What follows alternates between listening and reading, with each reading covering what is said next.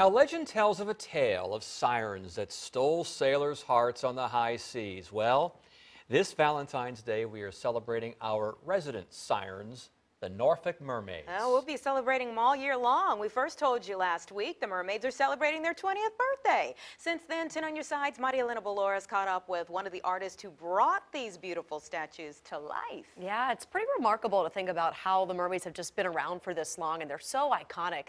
It was an idea that a Norfolk couple had while they were visiting Chicago. 20 years later, the mermaids have become an iconic part of the city's identity.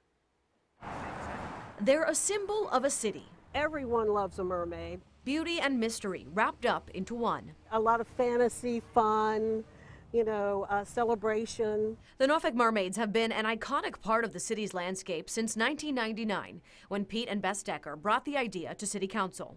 I mean, I love it. It just it makes me think of my parents and how much they love the city, and you know, it's just a great idea. Pete passed away in 2012. His son Philip says the mermaids give the city an identity. You see Norfolk and you see the mermaids. It's just, you know, it's a life celebrated daily.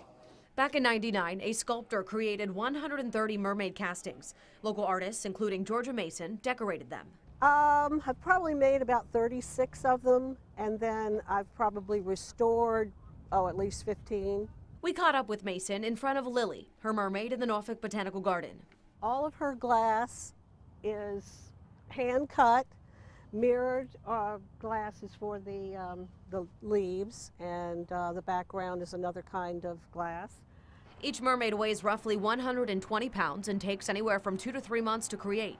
Each is unique to its location and enchanting in its own way. There's that fantasy of maybe mermaids really are out there, and I think that's a lot of it. There's, they've got such personalities. Mason now has the mold to create more mermaids, something she hopes continues. 20 years, people still are, they're still here, they're still going, people are still excited about it. 20 years later, the lure of the mermaids still going strong. The City of Norfolk is inviting you to be a part of the celebration. We'll have those details on wavy.com. I'm Marielena Balouris, 10 on your side.